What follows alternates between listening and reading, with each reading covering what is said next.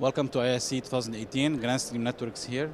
We're going to showcase our new uh, Android phone. It's called uh, GXV uh, 3370. Uh, it runs on Android 7.0. Uh, it can support uh, video conferencing.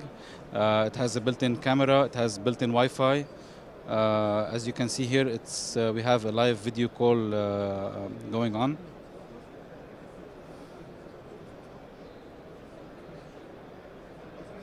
So to check more products about Grandstream Networks, please visit uh, www.grandstreamnetworks.com. Thank you.